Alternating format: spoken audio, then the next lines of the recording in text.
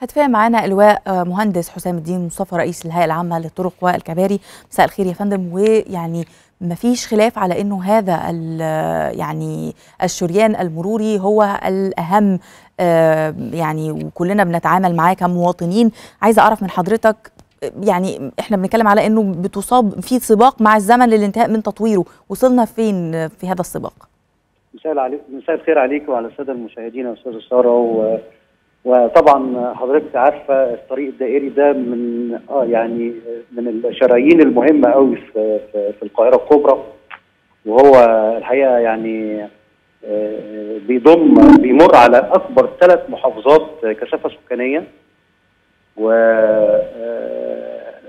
وأكبر كثافة مرورية تقريبا على الطريق الدائري.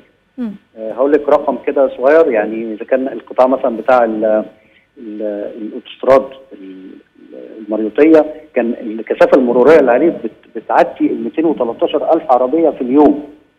فطبعا حجم كثافة مرورية عالي جدا. مم.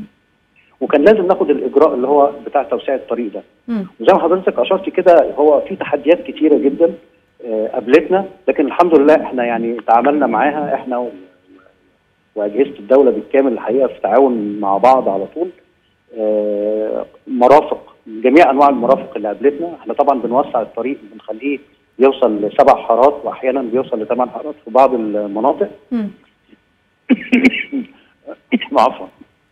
آه، طبعا قابلتنا تحديات كتير زي كنا كنا بنقابلها بقول لحضرتك زي زي مواسير المية خطوط الطرد الاتصالات الكهرباء ضغط عالي.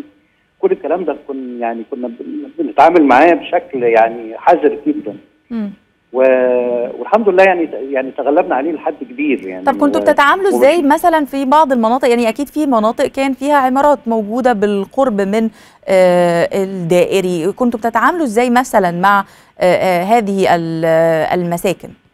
إحنا إحنا طبعا يعني إحنا لما حطينا الحدود حطينا حدود نزع الملكية أو حطينا حدود التوسعة فين واللي مطلوب اللي إحنا محتاجينه إيه عشان نوسع الطريق وبدأنا نتعامل مع ال مع ال الناس اللي ساكنة بشكل يعني القاطنين نفسهم اللي السكان بتوع المنطقة بدأنا نديهم حاجة اسمها تعويض اجتماعي. بحيث إن إن إحنا آه، عشان لما قبل ما يطلعوا من مكانهم يكون معاهم فلوس بحيث إن هم يقدروا ينقلوا في مكان آخر لغاية ما الهيئة القومية للمساحة الهيئة المصرية للمساحة آه، تخلص إجراءات نزع الملكية وبعد كده بتحصل تسوية بعد كده في ال في ال في المقابل المادي. وبنعمل إزالة لل- للعمارات المتعارضة مع التطوير والتوسعه مم. آه، أنا عايز طبعا حضرتك إن ما حدش بيطلع من من من بيته لو ساكن إلا لو معاه مقابل مادي جيد جدا يكفيه إن هو ينتقل ل آه، مسكن آخر وبشكل جيد. يعني. طيب. آه، ده حاجة. طبعا إحنا شغالين من من من من سعد الشاذلي لغاية الطريق الزراعي وشغالين من الاستراد لغاية المريوطية. وبرضه من طريق صحراوي لغايه الواحات.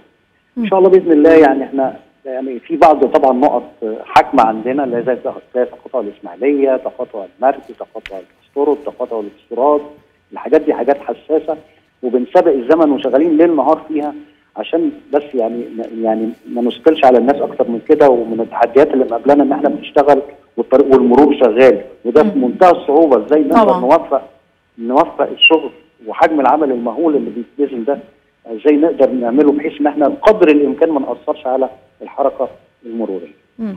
طيب يعني عايزه أسأل برضو حضرتك عن الإصلاحات اللي بتتم في بعض الأجزاء من الدائري آه، يعني أسفل بقى محور الدائري بتتعاملوا برضو معاها إزاي ويعني بتوصلوا فيها لفين يا فندم وصلتوا فيها لفين إحنا إحنا مخططين إن شاء الله بعد ما هنوسع الدايره هيبقى في طريق آه، هي- هيبقى آه، خارج حدود. آه، زي طريق خدمة لل- للطريق الدائري آه، هيمر من أمام المساكن بحيث عشان المساكن ما تبقاش بتطل على طول على الطريق الدائري. لأن برضو موضوع الإشغالات وموضوع إن العربيات بتركن على الدائري هو الدائري المفروض ما يبقاش فيه إشغالات ولا عربيات ولا حد بيبيع ولا أي حاجة. أكيد. لكن للأسف يعني ده موجود حاليا والحقيقة بال- بالتنسيق مع اجهزه الدولة الناس بتتعاون معانا لأقصى درجة. لكن إحنا عايزين الناس بقى نفسها تساعدنا بقى إن شاء الله بإذن الله. مم. وبالإضافة لكده إحنا بنعيد تاهيل كل منازل ومطالع الدايري وال... والطرق ال- اللي تحتيها في, ال- في الزون اللي تحتها بحيث إن إحنا ما نأثرش على السيول المرورية اللي فوق الدايري مم. وده طبعا. هيتم مم. طيب مفترض إن كل ده يتم الانتهاء منه إمتى يا فندم؟ إن شاء الله بإذن الله إحنا إحنا اللي في إيدينا دلوقتي إن شاء الله بإذن الله الحتة الحساسه اللي قلت لحضرتك عليها إن شاء الله على شهر 6 اللي جاي على ثلاث شهور الجايين نكون خلصناهم. بخلاف المناطق اللي لسه ما تمش الإزالة الإزالة بتاعتها دي لسه هن- هناخد من من ساعة لما نستلمها إن شاء الله هناخد ست شهور كمان.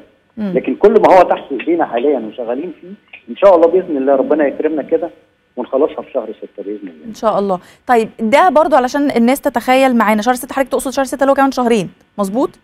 آه شهرين ثلاثة إن شاء آه. الله بإذن الله. شهرين شهر 6 كمان شهرين. طيب آه نهاية 6 يعني. آه.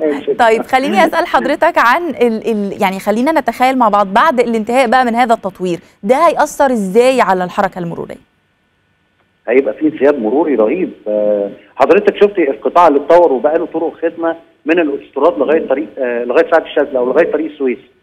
في مشكلة مرورية؟ لا مفيش. لا الدايري كله إن شاء الله هيبقى كده. بالإضافة لأن إحنا في برضه مخطط إن إحنا اولا آه، بدأ آه، شغل ال ITS ال intelligent traffic system هندخله على الطريق الدايري بحيث يبقى في انضباط مروري على الطريق الدايري. هيبقى من ضمن الطرق اللي هيطبق فيها نظام ال ITS و آه، برضه داخلين ده ده ده ال- النظام ده هيكون هي- بيعمل إيه يا فندم؟ ده نظام بقى عشان السيطرة على المرور والسيطرة على السرعة والسيطرة على المخالفات و... و... وإذا كان في مشكلة في الطريق بتواجه يعني هل ده زي مثلا اللي موجود على المحور محور 26 يوليو؟ آه هو اللي موجود على محور 26 يوليو آه، جزء منه. مم. جزء لكن هي هتبقى منظومة متكاملة هتدي بيانات كاملة عن الطريق للمستخدم بتاع نعم. الطريق. نعم. ده يعني وهيبقى إن شاء الله الطريق الدائري من ضمن الطرق اللي مخطط إن هي تطبق عليها نظام ال ITS بحيث إن إحنا يبقى في انضباط مروري على الطريق. نعم. يبقى في انضباط مروري جيد على الطريق. نعم. بالإضافة برضه لموضوع ال BRT إن شاء الله لما النقل الجماعي آه، اللي هو ال BRT الأتوبيس الترددي إحنا مخططين ان شاء الله بإذن الله إن إحنا ننفذ المشروع ده في الطريق الدائري بس ده هيبقى بتحالف يعني مع مع نعم.